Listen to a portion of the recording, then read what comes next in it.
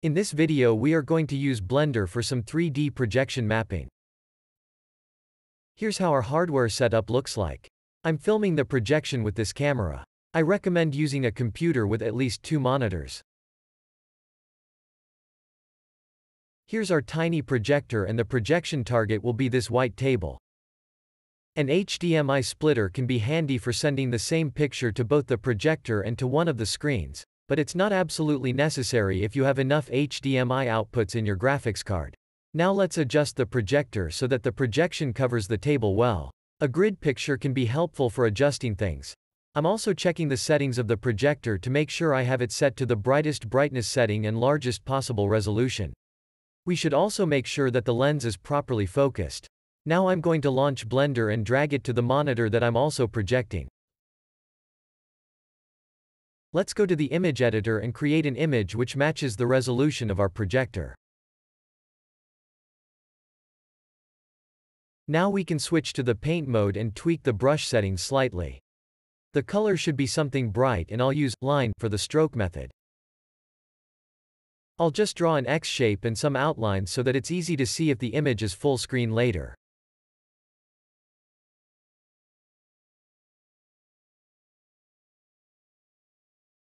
Then we can enter the full screen mode by hitting Ctrl plus Alt plus spacebar. It's also important to make the zoom level 1. Now we should use a different color and paint two parallel strokes that follow the perspective of the projection target, and then two other strokes that are perpendicular to the first ones. I'll also draw a set of lines in the third direction here just so I have the option to later decide which ones I actually want to use. Finally let's save the image we created.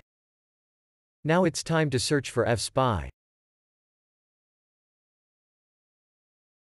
Let's click on the download link here and choose a version that is suitable for our operating system.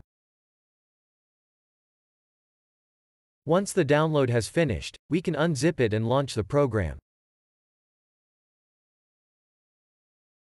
Drag and drop the image you created on top of FSpy and start aligning the lines in FSpy with the lines you drew in Blender.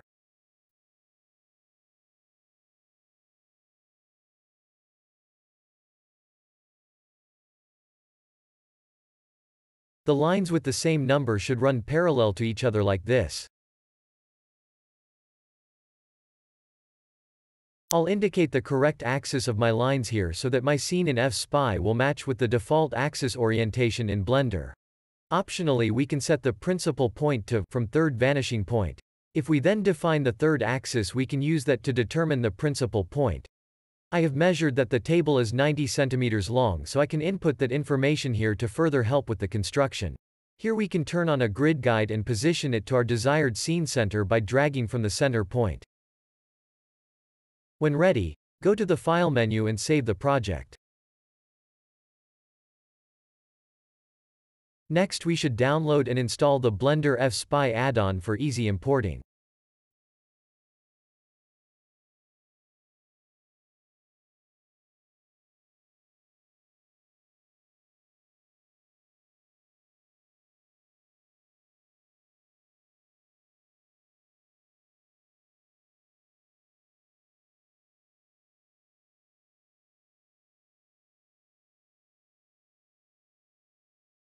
We will get the scene from F-Spy and the original image as the background image.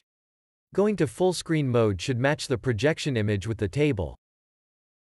I'll open up a new Blender window so that I can drag it to the second screen. That way I can keep one Blender window full screen while modeling the scene in the other window. Now we can start the modeling process. If we add a plane, it should be easy to match with the table surface. Let's model the rest of the table using extrusions and loop cuts.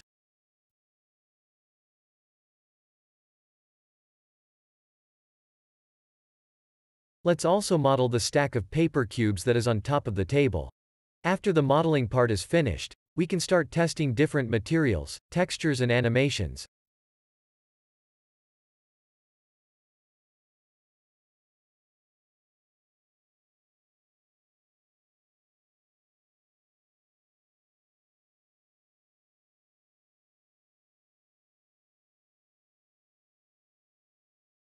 Playing with virtual light can also create interesting effects.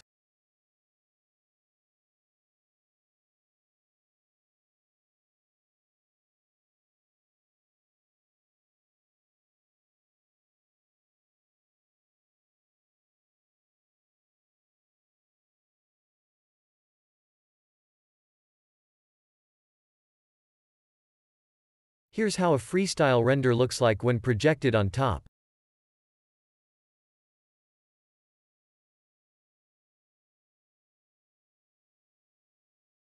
We can also duplicate parts of the table for some interesting animations.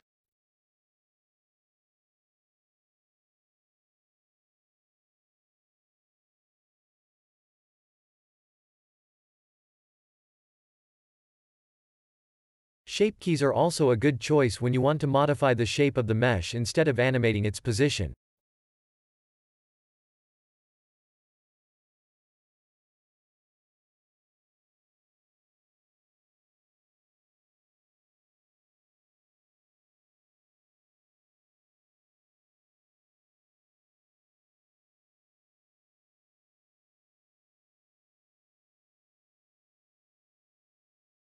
Array modifiers can also produce interesting effects.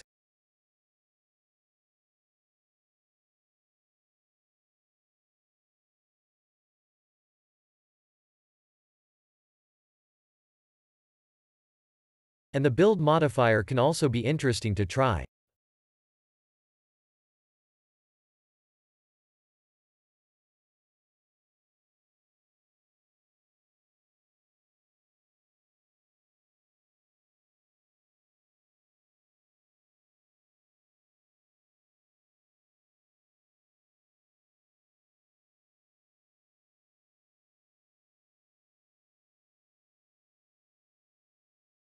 Holdout materials can be used to mask out parts of the image.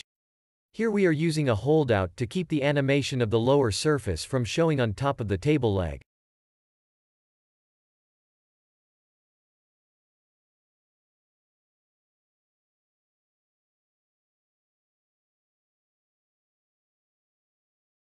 We can also use animated texts.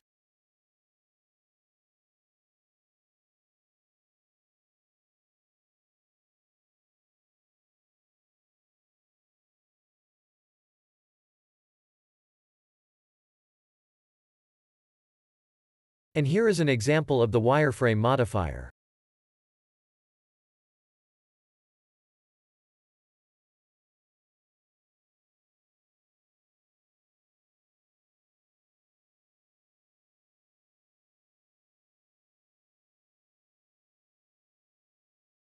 When ready, we can simply render our animation out as a video file.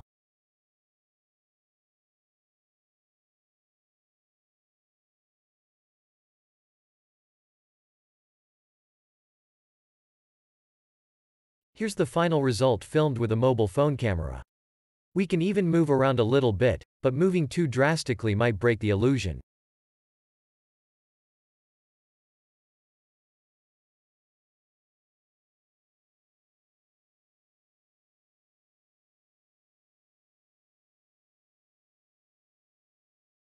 Thanks for watching and see you next time on fastertutorials.com.